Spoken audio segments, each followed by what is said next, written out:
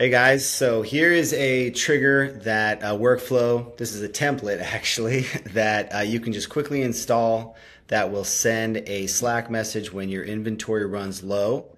Uh, so here's how it works. Uh, this is the trigger, inventory level updated, and then we have a filter that looks at that level and says, hey, is this less than equal to three?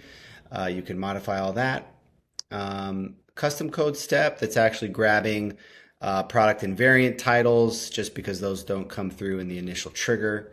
Um, if you want to get gnarly into that code, you can look there, uh, but that's not something you'll have to deal with.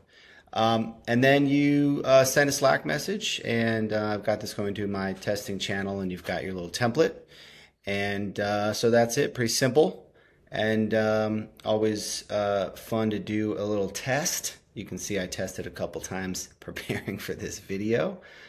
Um, automation did not meet the conditions of this step. Oh yeah, because I just adjusted the, the levels to 20. So it's saying, hey, it, it's not a low inventory uh, case. And one of the cool things about the testing flow, which comes in handy a lot of times, you can say, hey, skip that test because I want to test my flow, even though it's not the production data isn't isn't matching those conditions yet, and then you can go ahead and run that through.